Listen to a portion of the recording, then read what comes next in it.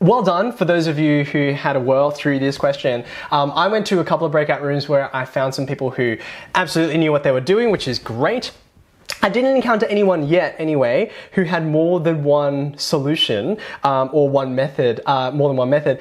Can you post in the chat, by the way? I'm just curious. Just go ahead and say, yeah, we got two methods, or we got three, or whatever. Um, did anyone get more than one? Or if not, just write one. Or you can write zero if you like. You're like, I had no way to go. Okay, so Zhao's got a couple. That's good. Did anyone else? I'd love to hear, uh, get a bit of feedback before I show you my. Um, I've got, I, I have, like Zhao, I've got two methods that I'm going to show you. Ruthie got one and a half. if you if you got one, and then you have like another path, even if you didn't finish it, I gave you a criminally short amount of time, so I'm okay with that.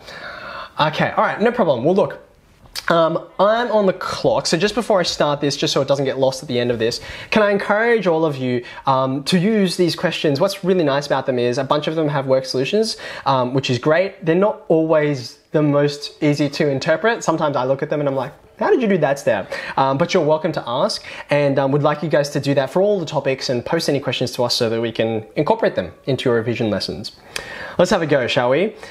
Prove that for any integer uh, n is greater than 1, that log base n of n plus 1 is irrational, and they're going to throw three marks at us for this apparently, and this is just from last year's HSC.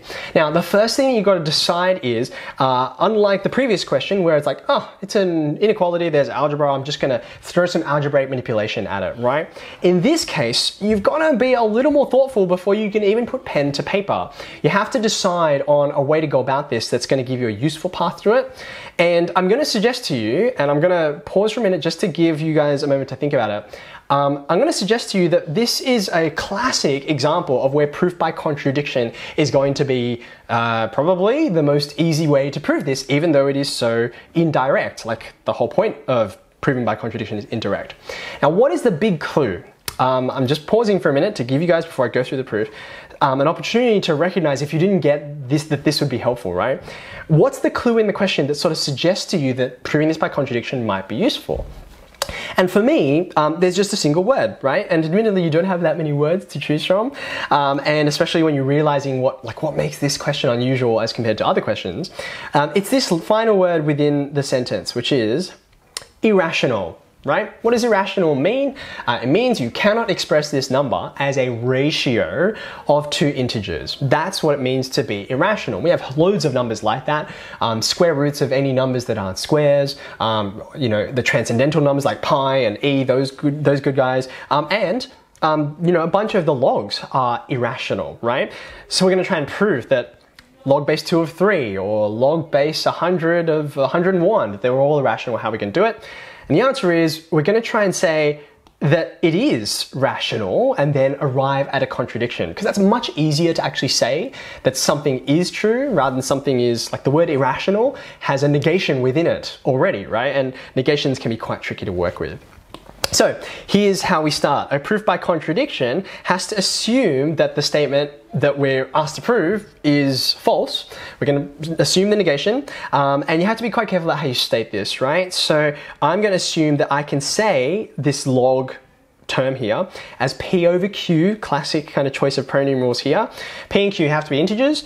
Uh, and this is important too if you've never, hopefully you've seen this word. I know I've talked about it a couple times here and there in some of my videos. Co-prime means it doesn't share any, the P and Q don't share any common factors, right? So they are prime sort of to each other, even if P and Q necess aren't necessarily prime. So 10 and 3 are co-prime, uh, even though 10's not prime because 10 and 3 don't share any factors. All right, so now that I've set that up, um, what am I going to do with it? Well, what I'm going to try and find out is a contradiction out of this result. So I just start to manipulate this, right? Um, so this is a log statement and I've just turned it into an exponential one. And then from there, I notice that I can uh, raise both sides, left and the right, to the power of q. And I get this statement right here, okay? Now, why is this a useful statement? Remember what I'm trying to do is get to something which doesn't make sense, something which is contradictory, and this is an equation which cannot possibly be true, and I just have to prove why it can't be true, right? Remember n is not just any number, it is an integer, up here, um, and it's an integer greater than 1. So what that means is you've got whole numbers going into here, and then you're raising them to whole numbers, right? Now, if it's not obvious to you, try some numbers. It's always um, helpful, especially when you've got so much um, algebra, so many pronumerals flying around, to try some numbers, right? So if I said like, what if n was say 2, okay? I'd have 2 to the n, or sorry, 2 to the p rather, equals, and then on the right hand side, n plus 1 is going to be 3, and then that's the power of q. Now, hopefully you can see here, like you might know the powers of 2, right? Um, 2, 4, 8, 16, 32, 64, and so on, right? Because of the way you're building that number, you're never going to have a factor of 3. The powers of 3 are 3, 9, 27, 81, uh, I, my, my, brain is already 243. We're, we're going to sort of struggle from there. Um, they're all odd, right? And the powers of two are all even. And if I chose some other um, numbers, like say, you know, if I chose four, then this would be five. You're going to have the same problem, right? Powers of four, um, 416, 64, 256, and then powers of five. 5, 25, 125, 625. You're getting all evens on the left hand side and all odds on the right.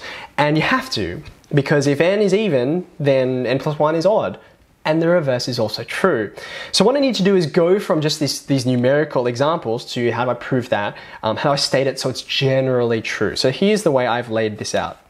I've said, let's do this by cases. Um, you might also hear this called proof by exhaustion. We're going to exhaust every possible uh, way that this could be um, laid out. So if n is odd, you raise it to any integer power and you'll get another odd number, right? But if n is odd, then n plus 1 is even. We saw that with 2 and, uh, sorry, I, I actually did the other way around. I started with n being even and go the other way. But if you've got n plus 1 being even, then once you raise it to an integer power, that's also even. I should say a positive integer power.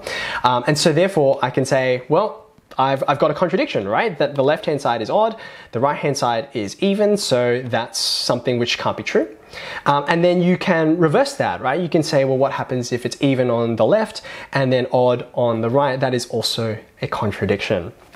So therefore, um, it's a bit notation heavy, but hopefully you can read this with me.